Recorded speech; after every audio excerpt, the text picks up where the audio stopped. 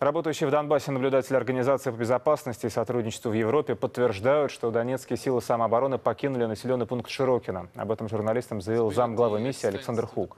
Напомню, ополченцы еще в начале июля вывели технику и личный состав из Широкина в одностороннем порядке в качестве жеста доброй воли. Украинские войска там все еще остаются, отметил Хук. Он добавил, что поселок сильно разрушен. Говоря о перспективах урегулирования в зоне конфликта, представитель миссии подчеркнул важность местных выборов, о проведении которых сторонам нужно договориться.